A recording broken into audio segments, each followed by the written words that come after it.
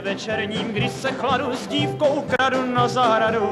Ona stváří zářící, v ruce tiskne kytici, mnohem je to příklad ženy, po všech stránkách podařený, každý má své mouchy však, a to děvče taky tak.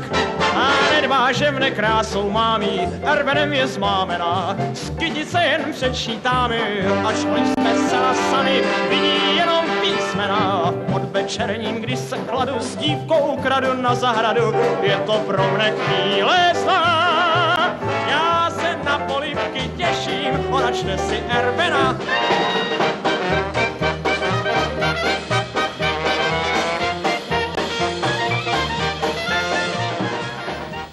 Tehdy rozhodoval kapelník. Orchestr byla hvězda. A ten zpěvák byl jako hostem té kapely. Byl tak trošku i trpěný, byl laskavě mu dali mikrofon, tady zaspívej dvě, tři písně. Tak vypadal tehdy začátek 60. let. Večerním, když se chladu s dívkou kradu na zahradu, ona stváří zářící, v ruce tiskne kytici. Mnohem je to příklad ženy po všech stránkách podařený, každý má své mouchy však, a to děvče taky tak. A nedbá, že mne krásou mámí, erbenem je zmámená. Z kytice jen přečítáme, ačkoliv jsme zcela sami,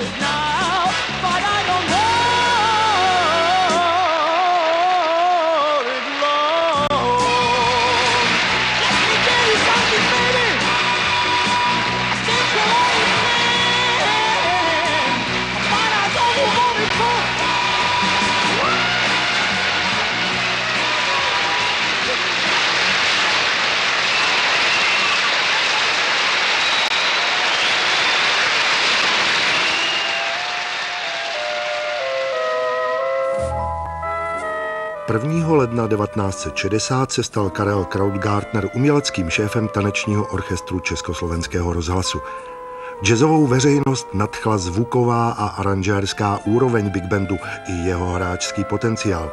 Běžní posluchači zase oceňovali populárnější část repertoáru rozhlasové kapely, která v programech Vysílá Studio A představovala renomované zpěváky, ale objevovala rovněž další. Také v programech ze Studia A kultivoval Karel Krautgartner hudební vkus běžných konzumentů tím, že do programu zařazoval jazzovější instrumentálky, jako například aranžmá melodie z muzikálu West Side Story.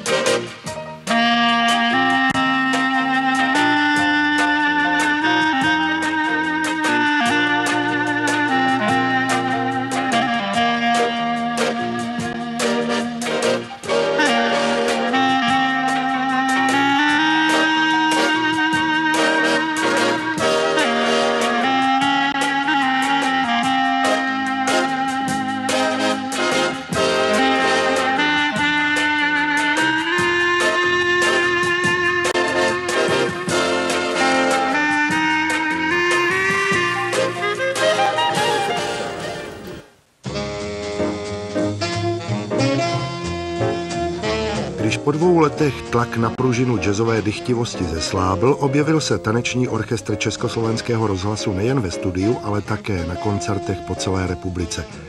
A došlo i na festival.